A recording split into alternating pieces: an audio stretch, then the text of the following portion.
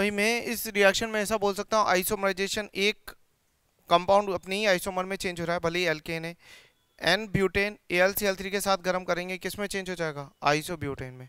लेकिन मैं आपको फिर बताना चाह रहा हूँ, अगर ये पेंटेन होता तो आपके नंबर ऑफ़ प्रोडक्ट बहुत ज़्यादा हो जाते हैं। क्योंकि जनरली एल्केन ए के साथ गर्म करने पर, वो अपने ही ब्रांच वाले, ज़्यादा ब्रांच वाले एल्केन में चेंज हो जाता है।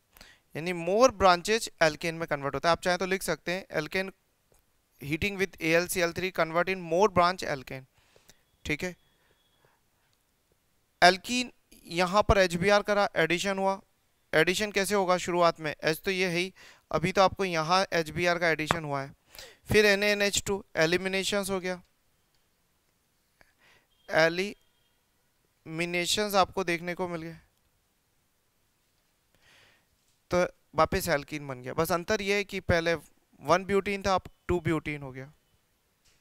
इधर एल्कोहलिक क्यों है ये वाला हाइड्रोजन एसिडिक है अल्कोहलिक क्यों उसको निकाल देगा, फिर शिफ्टिंग होगी, और कुल मिला के ऐसा कोई देखने को आपको मिलेगा। और ये आपस में एक दूसरे में कन्वर्ट हो सकते हैं, अगर स्ट्रॉन्ग बेस है तो। आ रही है बात समझ में? तो alkyne one degree alkyne terminal alkyne यानी कि हम बात सकते हैं ब्यूटाइन जो हमारे पास है या पेंटाइन जो हमारे पास है, pent one yne, pent two yne में चेंज हो गया। लिखें इसको।